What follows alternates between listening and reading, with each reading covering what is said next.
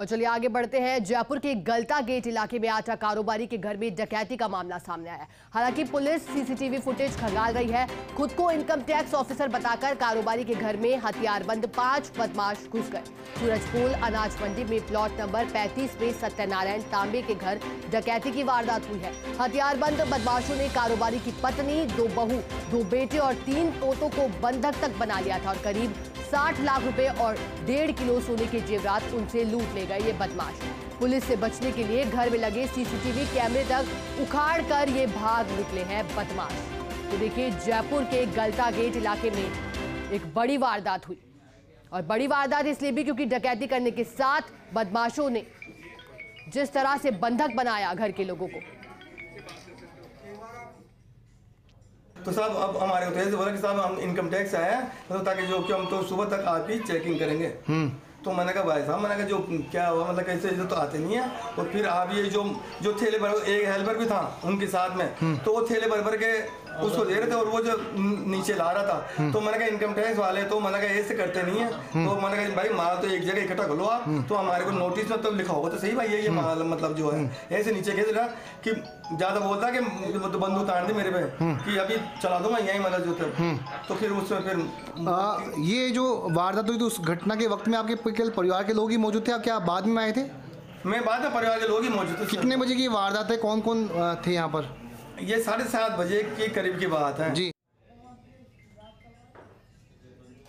और इसी पर अधिक जानकारी के साथ हमारे सहयोगी सत्यनारायण हमसे जुड़ गए। सत्यनारायण, देखिए, एक बड़ी घटना जयपुर के गलता गेट इलाके में हुई। हालाँकि जो बदमाश थे, जिन्होंने पहले बंधक बनाया परिवार के लोगों को और फिर नकदी और जेवरात चुराकर चुरा कर ले गए तो वहीं ये भी जानकारी कि सीसीटीवी तक वो उखाड़ कर ले गए। ऐसे में अब पुलिस किस तरह से कार्रवाई कर रही है और किस तरह तक किस तरह से इन बदमाशों तक पुलिस पहुँचने वाली है? क्योंकि सीसीटीवी भी नहीं है पुलिस के पास।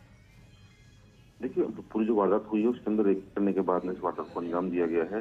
हालाँकि जो सीसीटीवी डीवीआर उखाड़ के लेकर उसके बाद में जो तकनीकी एविडेंस बनते हैं, जैसे मोबाइल मोबाइल की लोकेशन जिस प्रकार से अगर बदमाश मोबाइल होते हैं तो मोबाइल के आधार पर तलाश की जा रही है। इसके अलावा जयपुर शहरी जो कड़ी नाकाबंदी रास्ते जारी है, तमाम जो सराय धर्मशाला होटल्स है वहाँ पर जो संदिग्ध युवक रहते हैं, उनकी तलाश की जा रही है।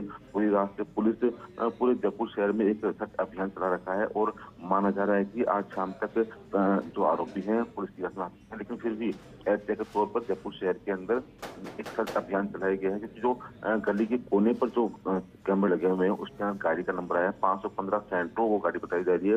उस गाड़ी की तलाश की जा रही है संदिग्ध वाहन की तलाश की जा रही है। इसके अलावा जिस प्रकार की भाषा वो बोल रहे थे, उस भाषा में कौन सा नज़र झलकता है, उस भाषा के अनुसार भी जो बदमाश उनकी तलाश की जा रही है, लेकिन पूरा परिवार भी डरा हुआ है। फ़र्स्ट इंडिया की टीम ने भी रात को उनके परिवार घर का दौरा किया था तो साफ़ नज़र आया कि सभी लोग जो दस परिवार के मेंबर्स थे, वो डरे हुए थे और किसी भी बात करने में असमर्थ थे। ऐसे में जो पुलिस के आला अधिकारी रातों के घर पहुँचे हैं, उनकी पूरी जानकारी उठाई है। फ़िलहाल इस मामले की जाँच कर रही है, बदमाश तलाश की जा रही है सत्यनारायण, क्योंकि ये पाँच बदमाश थे घर के लोगों को इन्होंने बंधक भी बनाया तो क्या घर में से किसी ने इनका हुलिया देखा? क्या किसी तरह का इन्होंने नकाब पहना था, या फिर कोई घर वाला इनकी शक्ल पहचानता हो? कुछ इस तरह की जानकारी भी आपके पास?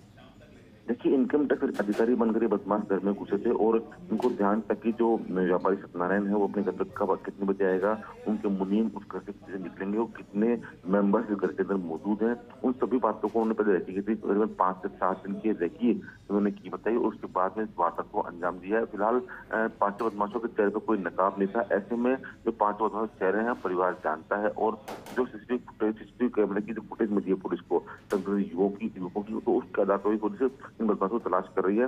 माना जा रहा है कि आज शाम तक पुलिस इस मामले में बड़ा खुलासा कर सकती है इसका। बिल्कुल, सत्यनारायण, धोखे से घर में घुसे बदमाश और फिर इतनी बड़ी वारदात को अंजाम दिया। बहुत बहुत शुक्रिया तमाम जानकारी हमारे साथ साझा करने के लिए।